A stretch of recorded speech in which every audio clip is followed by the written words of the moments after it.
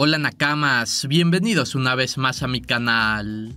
El día de hoy les traigo las predicciones o lo que no va a pasar en el capítulo 1028 de One Piece, el cual podría estar muy interesante. Al final les daré toda la información con respecto a este capítulo, cuándo saldrá y demás cosas. No nos enrollemos más y pasemos de lleno con los temas a tratar de estas predicciones. El capítulo 1027 de One Piece estuvo lleno de descontrol. Al pobre Zoro le dieron hasta debajo de la lengua. Se nos mostró un poco la escena de Luffy vs Kaido, pero fue más para mostrarnos el siguiente movimiento de Momonosuke y Yamato. De allí el capítulo estuvo más enfocado a cómo se pijeaban a Zoro. Desde el time skip es la primera vez que un enemigo está complicando demasiado a Zoro, incluso verse por mucho superior a él. Para este capítulo se puede dar más de lo mismo, muchísimo descontrol y Mugiwaras en problemas. Este sería el tercer capítulo luego del último descanso, por lo que es muy posible que haya descanso semanal luego de este capítulo. Como ya sabrán, cada tres capítulos hay descanso, aunque la última vez fue diferente, ya que hubo cuatro capítulos seguidos y luego el descanso. No sé en qué tan buenas condiciones esté el equipo de trabajo de One Piece, pero si de casualidad no hay descanso luego de este capítulo, entonces podríamos volver a los cuatro capítulos seguidos antes del descanso. Aunque todavía no se hagan ilusiones, toca esperar a ver si habrá o no descanso, pero lo más probable es que sí. Hago énfasis en esto porque dependiendo la situación se puede dar muchísimo descontrol al final del capítulo. Pero bueno, pasemos de lleno con los temas a tratar de estas predicciones. Luffy y Zoro. Como vimos en el último capítulo, ambos Mugiwaras lucharon con sus respectivos oponentes. Se nos mostró un poquito nomás de Luffy, ya que en sí la escena estuvo más enfocada en Momonosuke y Yamato. De Zoro sí hubo mucho enfoque por ser el inicio del 1 vs 1 contra King. La cosa es que tanto Luffy como Kaido acabaron en posiciones similares, ambos fuera del castillo enfrente de su oponente.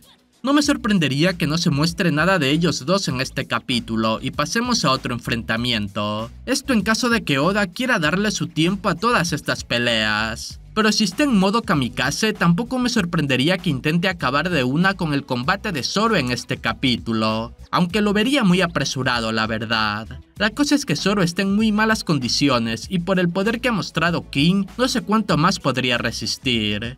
Si llega a haber descanso, el final de esta pelea no suena tan descabellado. Aún así este combate siento que tiene muchísimo potencial para revelaciones, sobre todo por King, incluso con Zoro y su relación con los Shimotsuki. Por su estilo de pelea se puede dejar referencias o diálogos que lo relacione.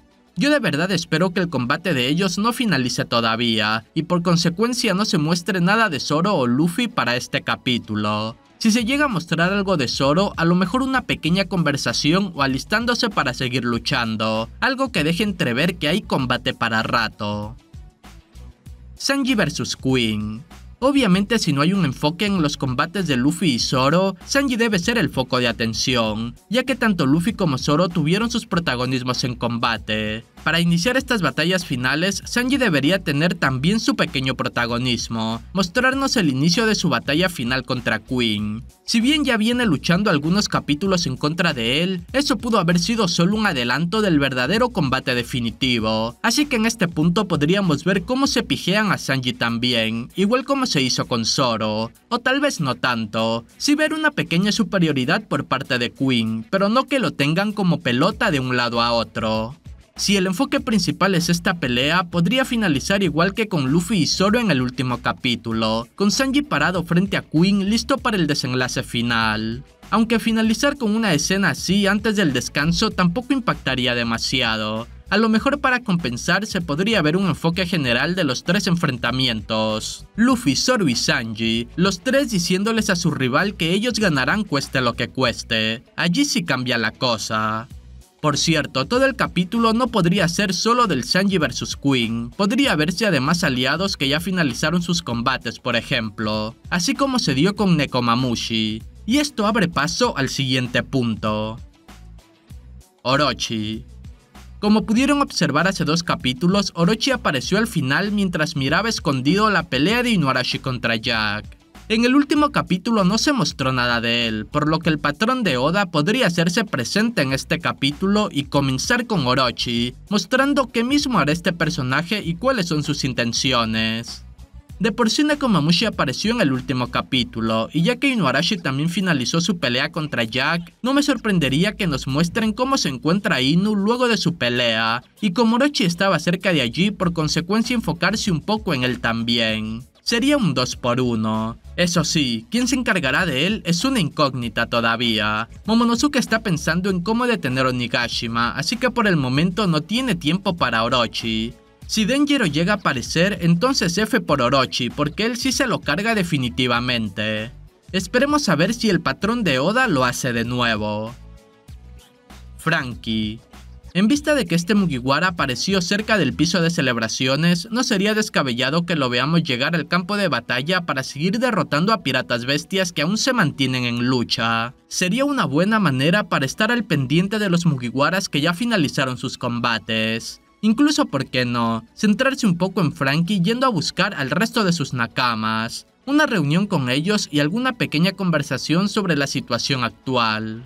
En este punto en las primeras páginas del capítulo podría aparecer cualquiera. Jinbei, Robin, Brook, Usopp, Nami, cualquiera podría tener un cameo para ver su situación igual como se dio con Frankie. Otros enfrentamientos.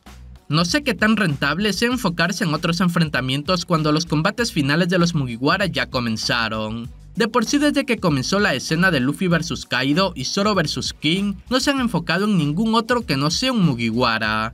Inu y Neko fueron la excepción por estar luchando uno contra una calamidad y el otro contra el hijo mayor de Big Mom. Tal vez antes del final de las luchas contra las calamidades enfocarse en las derrotas de tal vez Hawkins o Fukurakuyo, pero en medio de una pelea de Mugiwara importante no me parece que le den protagonismo. O quién sabe, y en las primeras hojas, antes de enfocarse de lleno en Sanji, mostrarnos un poco la situación de Hawkins. Aún así, como ya dije, veo muy difícil que se enfoquen en otro enfrentamiento que no sea el de Sanji. Aún es un misterio cómo será el enfoque de este capítulo. Hay mucha diferencia si habrá o no descanso. Dependiendo eso, pueden ocurrir ciertas cosas al final. Si llega a haber descanso, ojito con alguna revelación impactante al final de este capítulo. Este capítulo estará disponible el próximo viernes y los spoilers comenzarán a filtrarse desde el martes. Comenten ustedes qué creen que ocurre en este capítulo. Muchas gracias a todos los que llegaron a esta parte del video. Cualquier recomendación para futuros videos o cosas del canal pueden dejarla en los comentarios que con gusto las tomaré en cuenta. No se olviden de seguirme en todas mis redes sociales, ya que allí podrán estar al tanto de noticias en general de One Piece o de actualizaciones para el canal. Nos vemos en un siguiente video. Adiós.